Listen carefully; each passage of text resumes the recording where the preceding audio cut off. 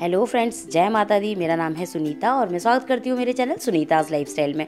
तो फ्रेंड्स आज हम बात करने वाले हैं मोनी एकादशी व्रत के महत्व और पूजन विधि के बारे में। लेकिन सबसे पहले फ्रेंड्स अगर आपने मेरा चैनल अभी तक सब्सक्राइब नहीं किया है तो मेरे चैनल को जल्दी से सब्सक्राइब कीजिए और बेल आइकन के बटन को दबाना बिल्कुल भी ना भूलें, जिससे आपको मेरी हर वीडियोज़ की नोटिफिकेशन मिलती रहे। तो चलिए शुरू करते हैं। मोनी एकादशी व्रत इस साल 2019 में 15 मई 2019 दिन बुधवार को रखा जाएगा। मोहनी एकादशी व्रत मोह बंधन तथा पापों से मुक्ति दिलाता है।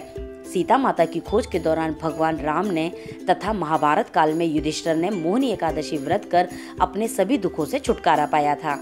अब मैं आपको बताती हूँ मोहनी एकादशी व्रत विधि के बारे में। मोहनी एकादशी व्रत करने वाले व्यक्ति को दशमी की रात से ही नियमों का पालन करना चाहिए। एकादशी के दिन ब्रह्म मुहूर्त यानी सुबह उठकर तिल का लेप लगाना चाहिए या फिर तिल मिले जल से स्नान करना चाहिए।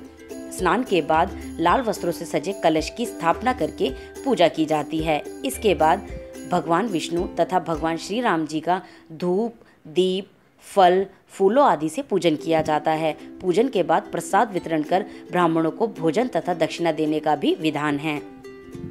रात के समय भगवान विष्णु जी का भजन तथा कथा का पाठ अवश्य करना चाहिए। मोहनी एकादशी व्रत के प्रभाव से सभी प्रकार के पाप तथा दुख मिट जाते हैं, इसलिए मोहनी एकादशी व्रत बड़ा ही प्रभावशाली माना जाता है। तो फ्रेंड्स, ये थी जानकारी मोहनी एकादशी व्रत विधि के बारे में। अगर आपको मेरी वीडियो पसंद आई हो तो प्लीज़ लाइक और शेयर ज़रूर करें और मेरे चैनल को सब्सक्राइब करना ना भूलें।